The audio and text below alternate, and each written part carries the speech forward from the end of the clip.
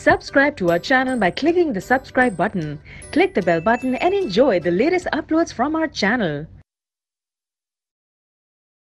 Question number 17. How do organic farmers control pests? Give two examples. Organic farmers कैसे pest control करते हैं और इसके एग्जाम्पल बताने हैं state the difference in their approach that from that of conventional pest control methods कैसे different है ये कन्वेंशनल पेस्ट कंट्रोल मेथड के? सबसे पहले ऑर्गेनिक फार्मर्स कंट्रोल करते हैं पेस्ट बाय बायोलॉजिकल कंट्रोल और नेचुरल प्रिडेशन जैसे कि लेडी बर्ड्स यूज़ करते हैं वो to kill aphids dragonflies to kill mosquitoes cotton bollworm और caterpillars are killed by Bacillus thuringiensis differences क्या क्या है? कन्वेंशनल पेस्ट कंट्रोल में केमिकल्स यूज़ होते हैं। वेयर एज ऑर्गेनिक में ऑर्गेनिक फर्टिलाइजर्स या फिर बायोलॉजिकल पेस्ट यूज़ होते हैं।